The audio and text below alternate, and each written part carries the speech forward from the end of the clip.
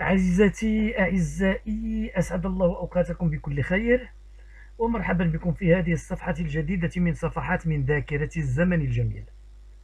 ونحن نحتفي بالذكرى التاسعة والأربعين لرحيل أمير الطرب العربي حبيب العمر الموسيقار فريد الأطرش والتي حلت أول أمس الثلاثاء السادس والعشرين من ديسمبر كانوا الأول. وسيرا على نهج هذه القناة المتواضعة والتي تعنى بتوثيق ما كتب عن موسيقى الخلود. إليكم في هذه الكبسولة رسالة بعثها إلى الفريد وهو في متواه الأخير الأستاذ محمود لطفي مستشار جمعية المؤلفين والملحنين ومحامي الموسيقار. بل أحد الأصدقاء المقربين منه جدا والذي كان محط ثقته الكاملة كما نوهت أكثر من مرة.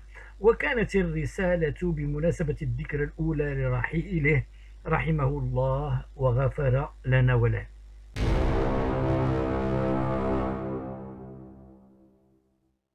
أخي فريد عام مضى وأنت أيها الراحل الكبير إلى جوار ربك. هل حقيقة ذلك؟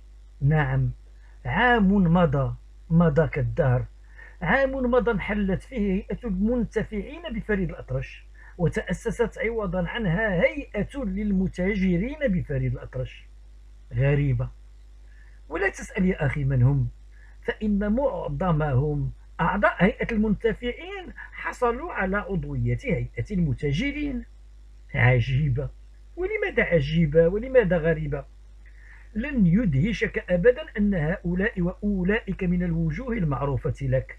وعزائي أنك لم تكن مخدوعا في أي فرد منهم. ليتهم يعرفون هذه الحقيقة. أرى وجهك قد علته سحب من الحزن. لا ولماذا؟ إن لك إخوة من أصحاب القلم وقفوا لهم بالمرصاد ولك من أحبائك من رفع رايتك وقال للمتاجرين يا أيها النمل ادخلوا مساكنكم. عام مضى يا فريد. رأيت فيه جمهورك الحبيب يتردد على مدفنك من كافة أنحاء العالم العربي. تسعدهم صورة بجوار النصب الذي يحمل اسمك. وكانت قمة سعادتهم يوم أن نقلوا حفلة الربيع بجوار متواك الأخير.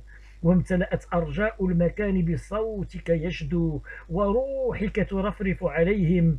والراحلة أسمهان ترقب في سعادة وفاء هذا الجمهور العظيم. عام مضى يا فريد. تحققت خلاله أمنية عمرك بأن يكون لك مسرح يحمل اسمك ويكمل رسالتك في الفن. نعم قام هذا المسرح في كبد معهد الموسيقى العربية رمزا لكفاحك وخدماتك للفن وللموسيقى الشرقية.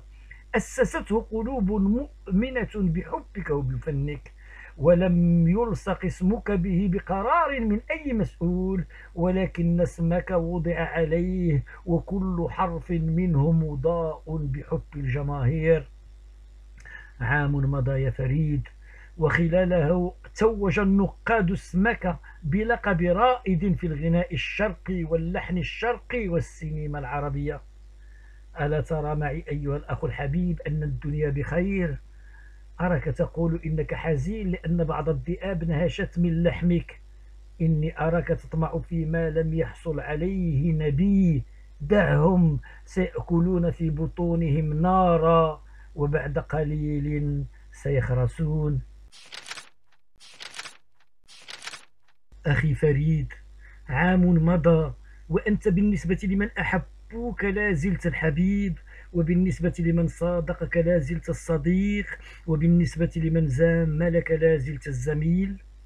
أما الذين منحتهم من حياتك ومالك وصحتك فأنت بالنسبة لهم اسم عابر في حياتهم. قيمتك عندهم ما بقي بين يديك لينفقوه. لا تحزن ولا تتململ في قبرك فهذا ليس بغريب. وإلى لقاء يا أعز حبيب. أخوك الذي لم تلده أمك محمود لطفي.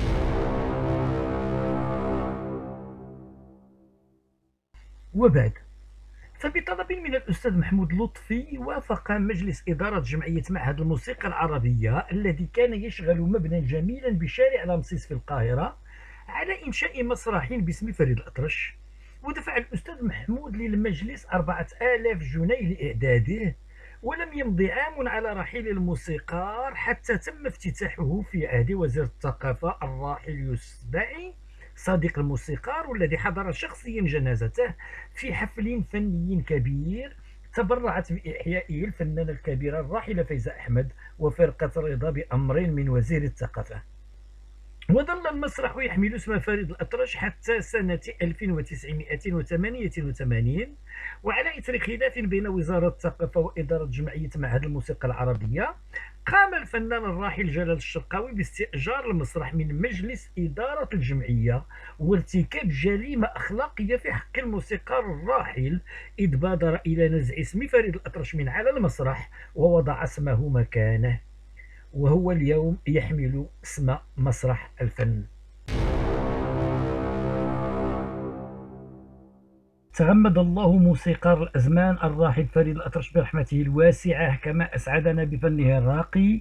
وغفر لنا ولا وحتى لقاء آخر مع صفحة أخرى من صفحات من ذاكرة الزمن الجميل.